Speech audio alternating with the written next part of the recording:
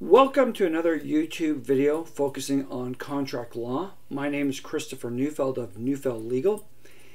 And in this particular YouTube video, we will be discussing the importance of incentivizing performance and results in contracts. And this can pertain to anything from tech contracts, shareholders agreements, partnership agreements, employment agreements, independent contractor agreements. Now, what tends to be the weakness in a lot of contractual arrangements that you have with other part, parties? The weakness that, from experience, that I have found is that performance results are not explicitly set out in the contracts. Yes, it's a difficult thing to gauge at times, and people don't really want to create a bad feel about things. However, when you're bringing in people and certain people are intending to work very hard and to put in considerable amounts of effort and time into the pursuit of a particular goal, which is the objective of the business, really the idea is that you don't want to reward those people who are not putting in what their expectations are, which disincentivizes the people who are putting in the real hard work. And then you want to make sure that those people who are putting in the hard work, be it working on weekends, working late nights, or simply just making very effective moves for the business, do not feel that they are not getting properly compensated and incentivized for that additional work while other people are riding their coattails. And this is a major concern, especially as a business grows. People might not outwardly say it. Nevertheless, the one thing you do not want to do is have one or two really good people that you employ, you engage, that you partner with, and this includes yourself, who's really pushing hard on the business, really striving, making real efforts. Oftentimes, it doesn't have to be that the efforts necessarily show major results, but at the same time, you don't want those group of people to look at the other group of people who are just sitting back, playing video games, showing up late to work, not really having any input, and simply saying, sitting back and saying, Whoa, this is great. This is a great business to be involved in. Thank goodness I joined because these guys are really pushing me forward and I'll do some work. Because oftentimes the agreements that people have are so templated and straightforward and simplistic that they fail to address these differing levels of effort and productivity. Now, one of the things that's always a challenge is results and trying to achieve results. Now, if somebody puts in less time but achieves enormous results for the business, that's a great thing and that should be properly rewarded. You don't have to put in sometimes 40, 50, 60 hours to get the results that you need. Nevertheless, the idea is that if you're only putting less hours than another person, you still have to be working with your expectations and being productive and being something more than just being present, being another body there, unless that is something that was agreed to at the outset. Otherwise, people will be disincentivized from putting in all that effort for the company and for everybody because people are riding their coattail, so to speak, because their effort is being shared among those who are not properly working at the business and its success and its achievements and the revenue generation. Now, there's sort of a, a, a, secondary level here, and that secondary level is the incentivizing for even more results.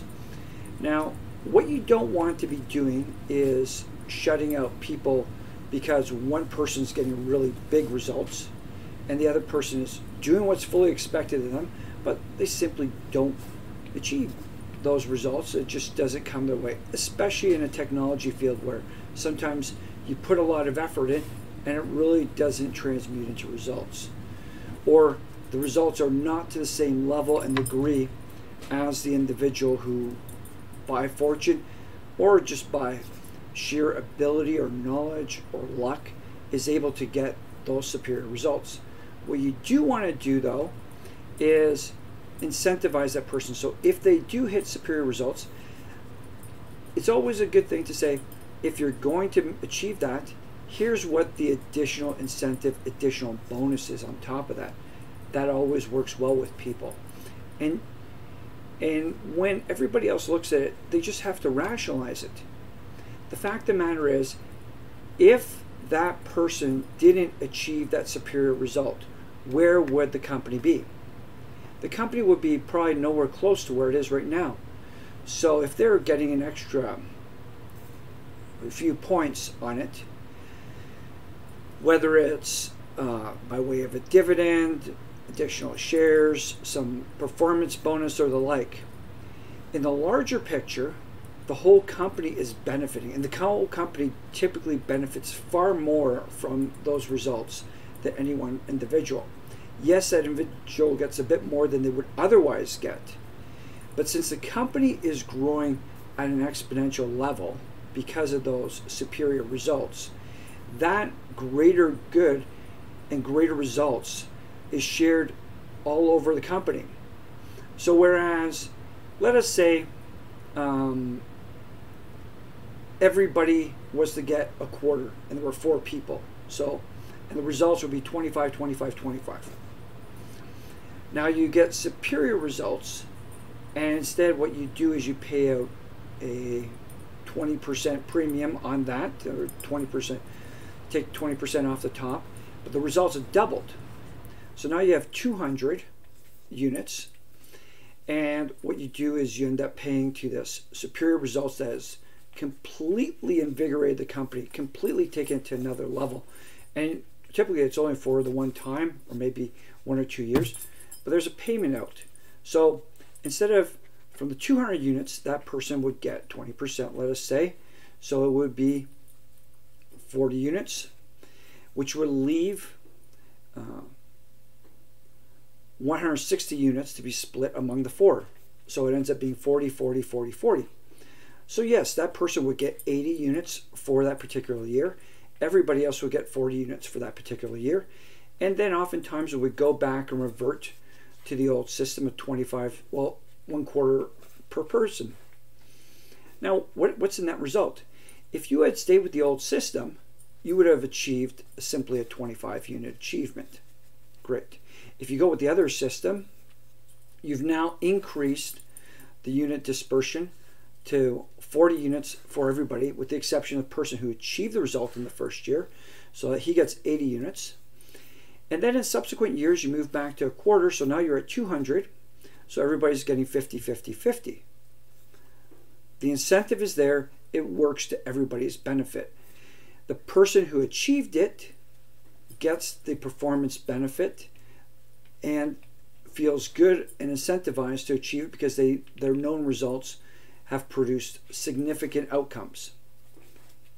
And what then happens, it creates a corporate culture where people strive to achieve their goals because and they also strive to support those who are achieving those goals because every, the person who achieves a specific goal, yes, they will be incentivized to realize more and more of these performance bonuses, however they are structured.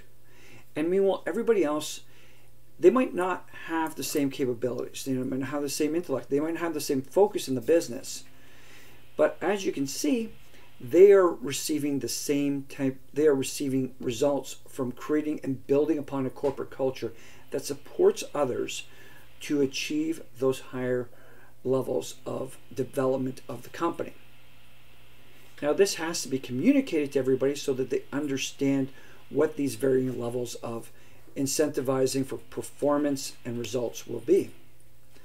And naturally, what needs to be done is it needs to be structured into contracts. And why do I say that?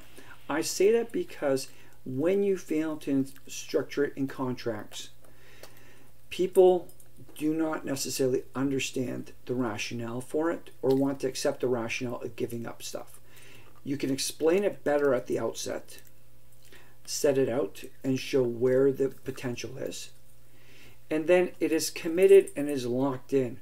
So people are not concerned about losing the benefits achieved through their hard work.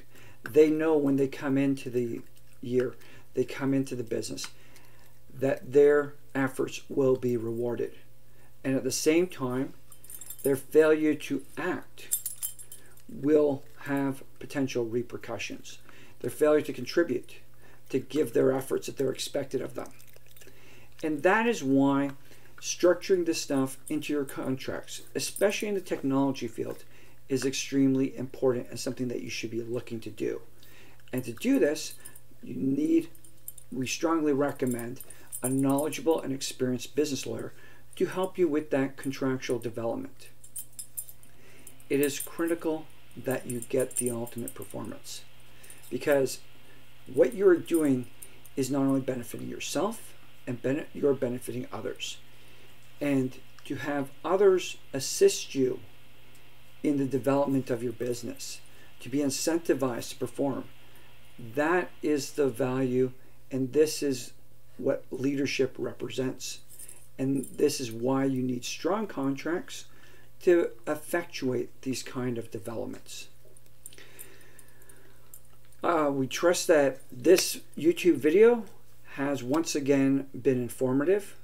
Please like the video, subscribe to our YouTube channel, and we look forward to seeing you again as we look to provide more insights into making your business that much more successful by utilizing the law and contractual agreements to your better advantage. Thank you.